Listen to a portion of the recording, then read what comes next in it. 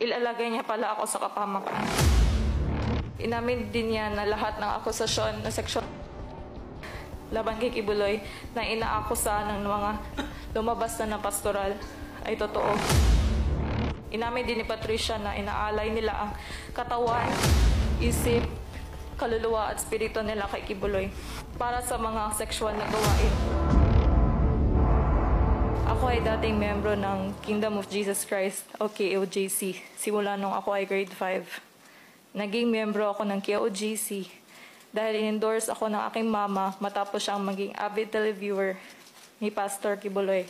Ayon sa kagustuhan ng mama ko, napagdesisyonan niyang ilagay ako sa KOJC para mapunta ako sa safe environment kasi natatakot siya na may mangyari raw masama sa akin kasi may itsura daw ako. Napaka-welcoming ng mga membro ng KOJC sa amin kasi kusa naman kaming nag-attend ng service worship nila. Sa pagkakataong iyon, nakuha namin ang atensyon ni Nelly Canada na sa pagkakaalam ko ay may mataas na katungkulan sa Jose Maria College o JMC bilang Dean o Administrator. Pagkatapos ng worship, in-invite kami ni Mama na ipakilala kay Kibuloy sa dating Victoria's Building kung saan doon kumakain si Kibuloy. Nelly Canada also let me meet Pastor Kibuloy. Sa aking pagkakaalala, 11, 12 years old ako that time.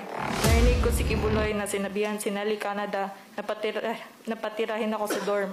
Ipinakita sa amin ang mga kwarto doon sa dorm at maayos naman ang mga kalagayan nito. At simula noon, doon ako pinatira sa loob ng compound. Sa pang-araw-araw na pamumuhay doon, tinuruan kami na lahat ng gagawin namin ay nakabase sa schedule. Sa umaga, magigising kami para mag-devotional na alas 4 o alas 5. Pagkatapos ng devotional, gagawin namin ang mga assigned tasks o work job. Naalala ko din na kapag gusto namin lumabas ng compound, madaming dadaan ang proseso at hindi sa lahat ng pagkakataon ay mapapayagan lumabas ng compound. Kalaunan, na-assign ako sa pastoral department. Meron pa din akong work job at minsan nag-serve ng pagkain ni pastor. Sa panahon iyon, napapansin ko parati niya kasama sa kainan si Stephanie Ibarra na isa ring pastoral sa inner circle. Sa pagkakaalam ko at alam din ng lahat na paborito ni Pastor si Stephanie Ibarra. Parati kasama ni Kibuloy Stephanie kahit saan siya magpunta. Mga taong 2017, naimbitehan ako na kumain sa JMC lobby kasama si Kibuloy at ng iba pang mga inner pastoral. Nalaman ko kalaunan na kapag nakakasama ka na sa ganitong groupings ay malapit ka na mapagbilang sa inner pastoral. Pagkatapos ng mga ilang buwan, isang gabi, inibita ako ng isang inner pastoral na si Patricia.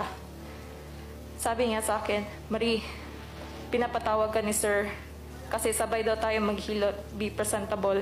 Pagdating namin doon, binulungan ako ni Patricia na pumesto sa may kaliwang paa ni Kibuloy. Hinilot ni Patricia ang kanang paa habang ako ay nagsimula na maghilot sa kaliwang paa. Nung nanging pastoral na ako, pinagbawalan ako ng mga nakakatandang inner pastoral na pumunta sa mga lugar na madaming lalaki o makipagkaibigan sa mga lalaki. Noong February 2023, dahil sa kagustuhan kong makapag-aral ng kolehiyo sa labas at sa paniniwala ko naman may kakayanan akong makapag-aral, lumayas ako sa KOJC compound at hindi na bumalik doon. Noong araw na mismo na iyon, pumunta ako kay Patricia dahil alam kong lumayas na din siya sa KOGC compound sa panahong iyon. Doon ko nalaman na inutusan siya ni Jacqueline Roy na handa ako para maging membro ng Inner Pastoral. Sinabi ni Patricia na kinausap din siya ni Kibuloy para handa ako na maging membro ng Inner Circle. Inamin din niya na lahat ng akusasyon na sa laban kay Kibuloy na inaakusa ng mga lumabas na ng pastoral ay totoo. Inamin din ni Patricia na inaalay nila ang katawan, isip, kaluluwa at spirito nila kay Kibuloy para sa mga sexual na gawain. At nung nalaman ko iyon, nagtapo ako kay Patricia kasi pakiramdam ko, ilalagay niya pala ako sa kapamakan at hindi niya ako sinabihan sa mangyayari sa akin. Kaya ako nagsasalita ngayon dahil as former member, alam ko na buong operasyon ng QGC ay bawang panlilin lang lamang.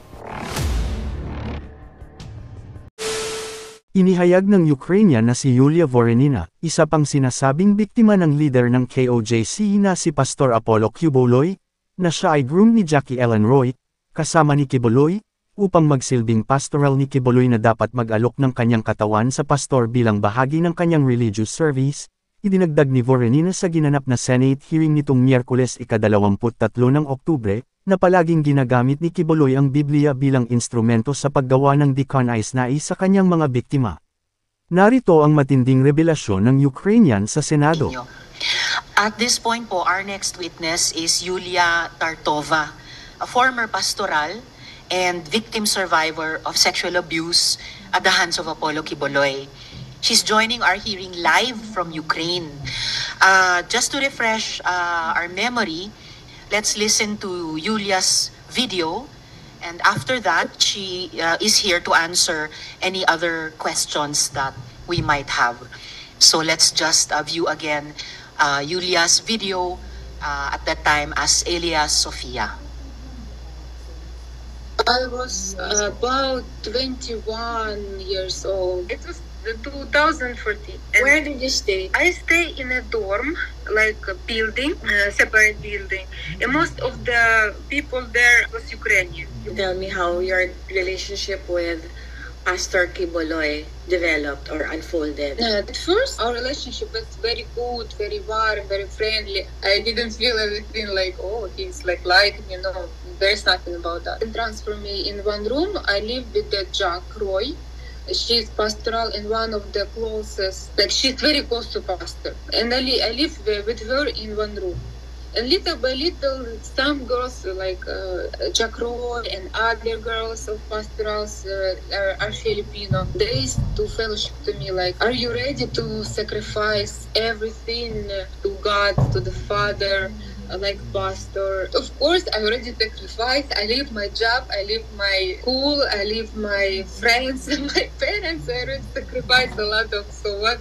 What do you mean? I cannot understand because I already sacrificed and it's the life that I choose and I live and uh, I believe that this is God's way for me. So and they were just like even your body you can sacrifice. When he see that there is no Ukrainian girls and I'm alone, so he start more and more to talk to me.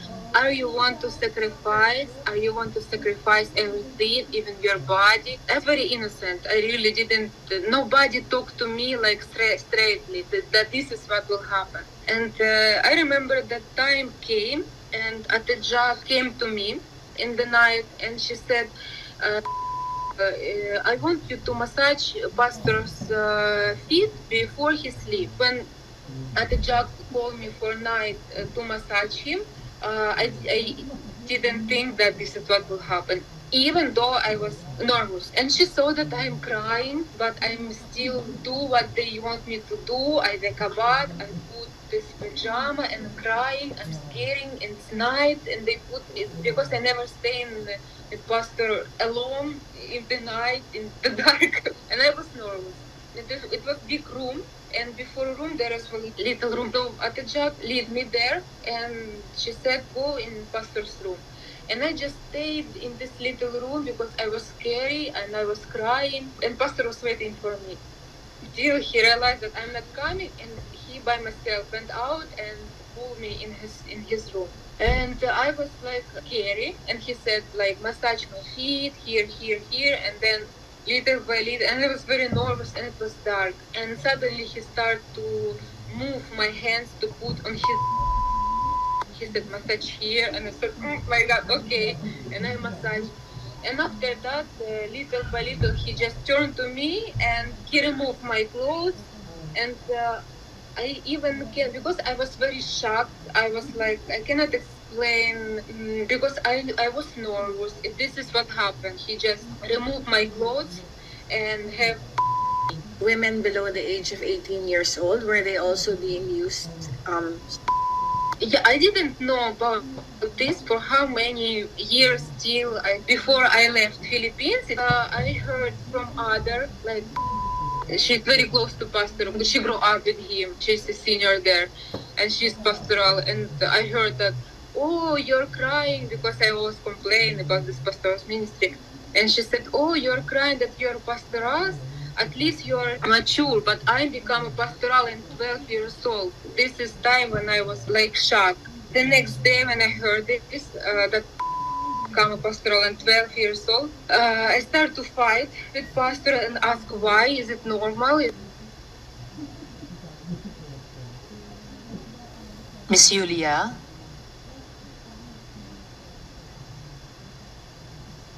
Miss Yulia, I think your audio is still muted. Could you please unmute? Good morning. Yes, good morning, Miss Yulia. Thank you for joining us in the hearing.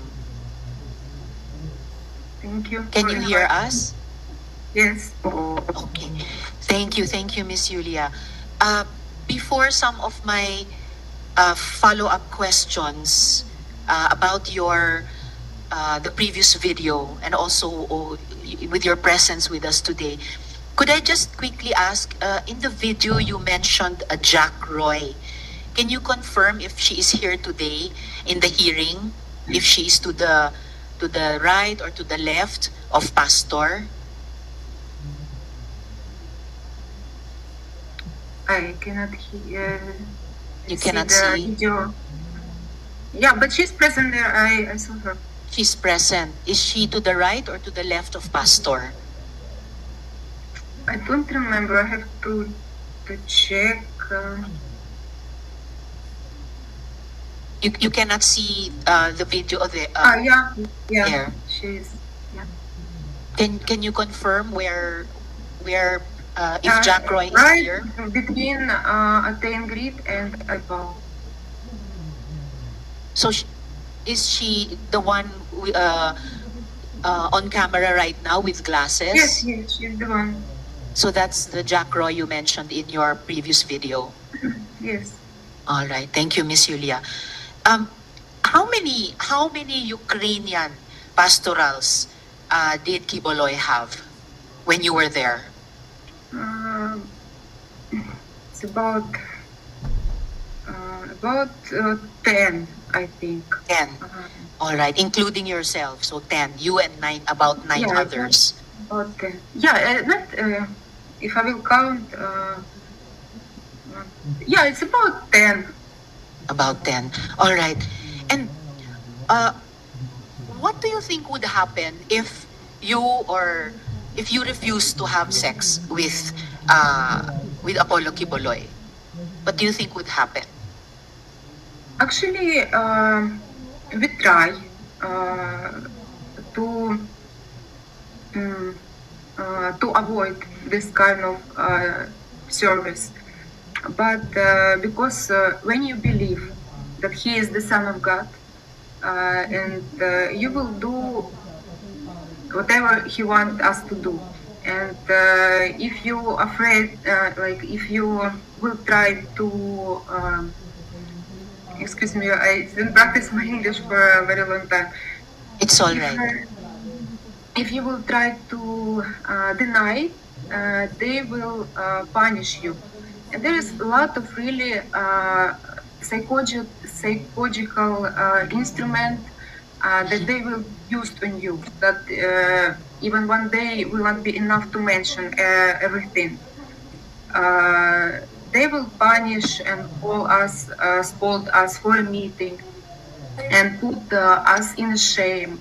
That saying that we are um, ungrateful uh, because pastor give uh, us everything, and you just don't want to give, uh, sacrifice your body like Jesus Christ sacrificed. And of course, they always will uh, use uh, the Bible as an instrument to convince us to do it.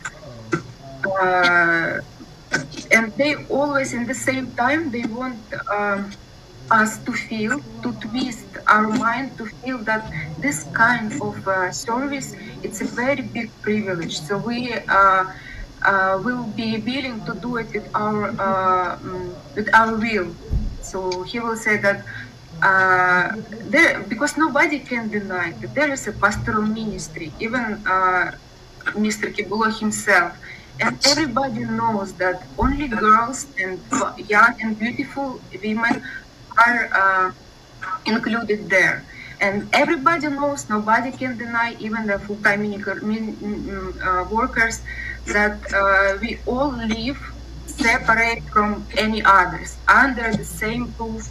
Uh, our uh, rooms are next to him, so he have free access to every room, to uh, like to each room, and uh, nobody uh, can. Um, uh, uh, nobody know his life behind the door.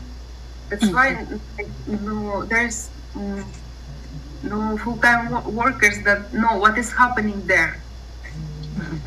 Uh, so when you uh, try to, um, like for example, there was several times that I tried to deny uh, this uh, ministry of sleeping with him. Mm, um, because we have a schedule like uh, and he will be the one to put the schedule. Who will be the one tonight? And uh, jack roy it, in my time it was her ministry to uh, invite girls to pastor's room. Uh, and actually to invite the girls to this uh, ministry to pull them in, in his room uh, and Miss Julia, you told us something very important. You said that nobody can deny that there was such a thing as a pastoral ministry. Uh, you said you told us that twice, and uh, you said that if you refused to give those kinds of service, that sexual service, uh, as you tried to do uh, several times, that you would be punished, uh, including Yeah. through psychological instruments. Yes, you Yeah. said that they Yeah. they uh, could uh, try to uh, twist your mind. What kind of psychological punishments and what other kinds of punishments did they impose on you if you try to deny this kind of sexual service? uh, like as I said, there was a schedule, and there was one time I tried to deny because uh, one day he's, he said that I will change my rule, so I will not be the one to call you. Who will be the one tonight to uh, to uh, present yourself to me? Uh, but uh, I want you to be voluntarily to come to the and uh, to uh, put yourself in the list and me and some other Ukrainian girls whom I know, uh, we like said like uh, we never go and put our names in the schedule. And then because he said, Mr. Kibulo said that I want to see those who are really doing that willingly and who is not. And uh, me and some other girls have a separate room in pastoral ministry. And after uh, he wait one week, two weeks, or about one month, I remember, I don't remember exactly, but there is such a time that nobody from us uh, asked to uh, do this ministry. And then he started to come by himself. Like, for example, he had the key of each room, and just in the middle of the night, he come to my room and uh, have uh, sex with me. Then, uh, and you cannot, uh, you cannot run away.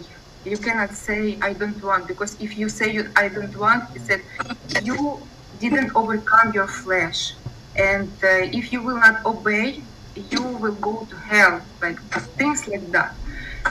Uh, and other night, uh, I like we have all dinner together, and I feel that uh, by the way he look at me, I understand that this night he might come.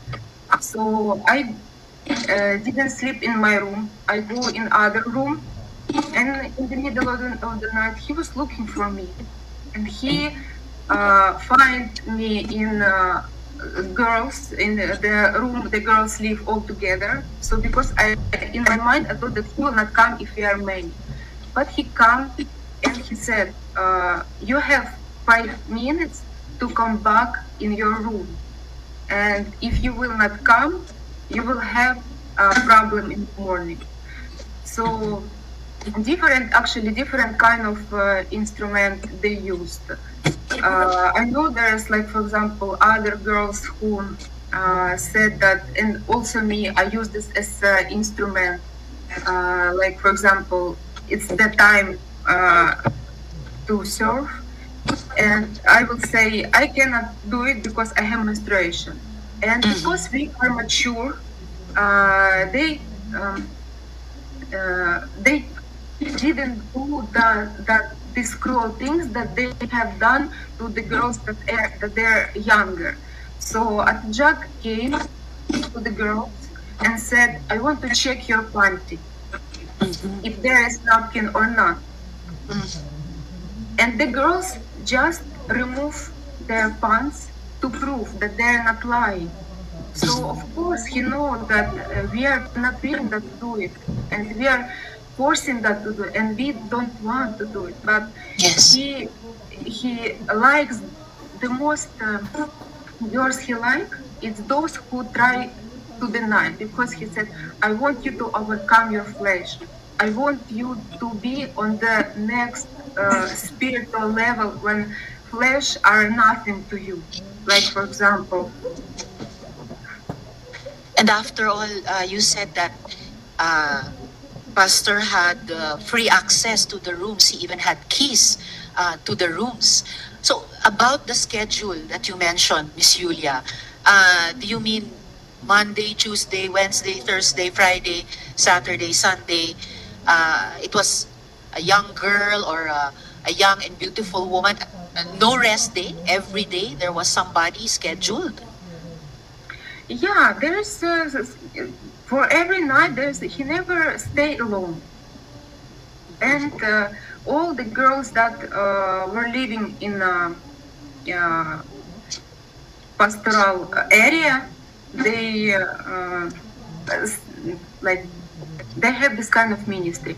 Someone uh, have just several times to experience that, and some have to to do it like all the all the time, like almost every week.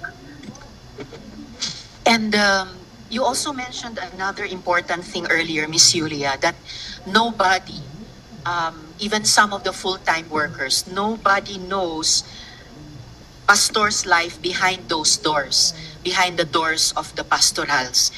You also mentioned uh, Jack or Jacqueline Roy as your groomer. How did she groom you? Uh, at first, uh, it's a long story because in order to uh, to do it, it's not a very quick way. So I will try to make it short. Yes. like yes. uh, when I was in um, transferred to a pastoral area and I started to live uh, with Atejak, I was very new. I even didn't know uh, English, uh, any word of English, and he was very in hurry to pull me in uh, in pastoral uh, to pastoral ministry. And there was one time uh, Atejak, uh, in it was night, and she called me and she said uh, like he wants to uh, talk to you. And i came to his room and he opened he have russian bible. He opened russian bible and because he cannot talk to me in english. And he said i want you to read this verse in russian. So uh, i opened this bible and uh, there was a verse uh, i don't know how to say it in english uh, translate in english. It's about there's a s- uh, scripture about to sacrifice your body. Mm. and uh, he was trying to ask me are you ready to sacrifice like your body? And he uh, pull he uh, put his finger on the bed because we were sitting on the uh, chair before the bed. And he uh, showing to the bed and he started to pull me. And then i was uh, because i was very new and everything that i know about him was good. And i get scared. I get shocked because i uh, uh, um, like in my mind, this is really what he mean by pulling me to the bed, and I run away from the room, and there's a, a garage uh, in front of um, mm, uh, in front of Bible school. But in that time, there was uh, uh, some payan, a big place with uh, a lot of stuff. And I ran away because where I can go, I'm in other country. where I will go? So I uh, ran away and I uh, hide myself there. And I was just crying because uh, I was thinking how to go uh, home. Uh, I get a problem, and who can help, who can help me to go out of this? And then uh, when it's already morning, of course I have to appear. Where I cannot stay there forever. And when I come back to the room, Jack was very mad to me and uh, they said that uh, you run away from him. You don't have uh, uh, any respect to the son of god. Uh, and they like uh, start to uh, let me feel that i'm guilty. And then uh, i guess they realized that it's too early for me. I'm not ready yet. I'm not uh, still uh, not uh, brainwashed uh, uh, that i can do it so uh, they explained that. They called me again and they said, "You don't worry. This is the you because they saw my reaction. They saw they know that they cannot do it. I will just go away." And they said, "You don't worry. Uh, you didn't. You just misunderstood uh, help me this point. um, uh, Misunderstood? Yeah, you misunderstood. Ah. He just want to trust uh, to uh, try your uh, faith to know if you if your uh, motive of coming are really real.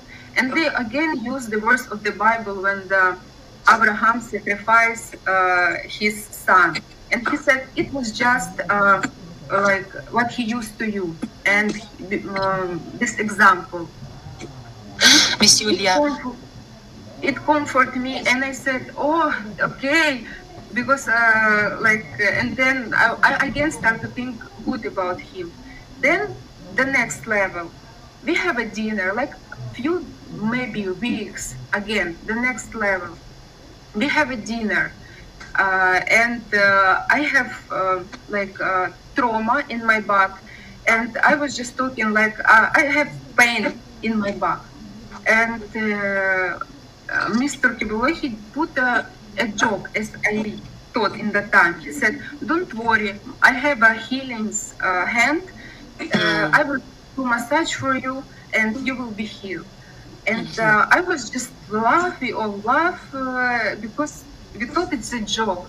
But when the night came, uh, in the middle of the night, at the uh, came uh, with pastor to my room, and I was just sleeping. And he said, "You, uh, you said you have back pain. He want to massage you." And I said, "No, no, I, I'm okay. I was just joking." He said, "Don't worry, just trust because." Uh, it's a big privilege if he will pray on you. And I said, okay. And uh, I just lay down. Uh, she turned off the light and she uh, go out from the room. And then Mr. Kibola came and he started to massage my back. And of course, I didn't feel com- uh, comfortable, but I also cannot uh, escape. And after that, he started to uh, move his uh, hands uh, lower to my back and I get again I get scared. I said no, uh, I don't have pain there. Uh, please don't do it. And he said just relax, just relax, like things like that. And again I ran away from the room. Again I hide. Then the next morning they spoke me again. Like he wanted to pray on you, he wanted to heal you, and you just go away. So little by little, uh, like uh, really, it, I cannot mention all, but uh, I want you to guard the point. Miss That, Julia, uh, there is a lot of trick that uh, they were using. Miss Julia and uh, colleagues, uh, the minority leader uh, has to leave. Salamat kaayo, Senator Coco, for attending. Miss Julia, before my last follow-up question to you at this point, I just like to quickly ask uh, Miss Jacqueline Roy. Miss Roy, uh, quickly lang po at this point, uh, narinig nyo yung mga sinabi ni Miss Julia. Uh, do you do you confirm what she said? Uh, uh, inaamin nyo ba yung mga sinasabi niya na kayo daw ang nag-groom sa kanya para kay pastor? Good afternoon po, Senator. Um, I want to invoke my right to remain silent. And I'm also invoking my right against self-incrimination since nasa korte na po po ito. Salamat po. Alright, babalikan na lang po namin ah, kayo para sa ilan pang mga tanong ah, mamaya. Um, Miss Julia, just f- for a last question from me at this point. Miss Julia, you sent us a copy of an audio file that came into your possession. Uh, now, noting that the Philippines Republic Act number 9208 as amended grants immunity from liability to a victim of human trafficking who transmits a recording involving a violation of that law and noting further that this audio file uh, had been also circulating already on the internet, the committee will play this audio file now. So please uh, stay with us, Miss Julia, while we play the audio file. I was uh, about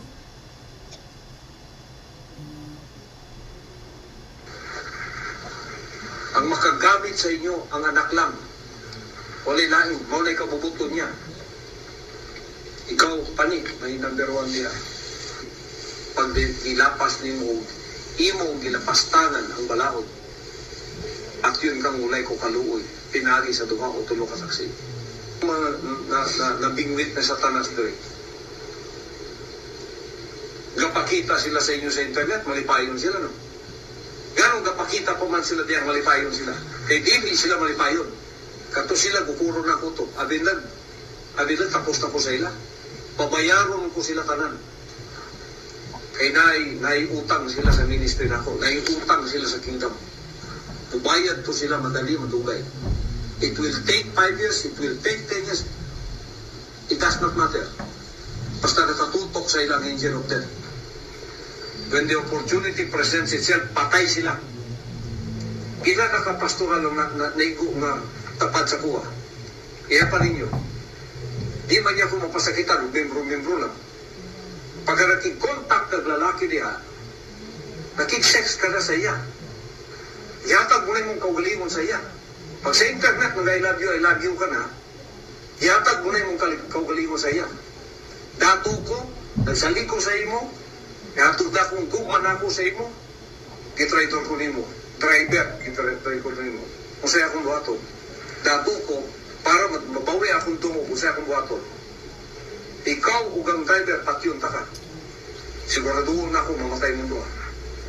Dito pa ako makabawi sa akong tungo. O bitaw ang Muslim, doon ay honor killing. Dili na mo katalikod ang ministry. Pwede mo mga matay. Pero yung pagtuo, pwede mo matalikod. Ginana kay gusto ninyo matalikod. Sulod daw mo yung PA be. Isang kadre ka lang, sulod ka yung PA. Pagka naka-lecture na ka, kapila sa ilaha, di ka nakagawas. Pag di ka, bukurong ka, patyon ka. Sulod mong mafia, sulod mong gobyerno sa Amerika. Pag ipasulod ka diya sa ilang CIA, ipasulod ka sa ilang FBI, ipasulod ka sa ilang NSA, nakabalo na ka sa ubang mga mga confidential niya. Tapos kalit-kalit mo talikod ka, di ka kukurong. Inani ang akong ang, ang commitment na ako sa inyo. Wala na'y makatalikod sa inyo. Wala na'y makatalikod sa inyo. Wala na'y pwede mo traidor sa inyo. Pag nag-traidor mo, na'y magbukod sa inyo. Patay jud mo dito. Kapahamakan ang inyong ginatuan. I-implement po natin.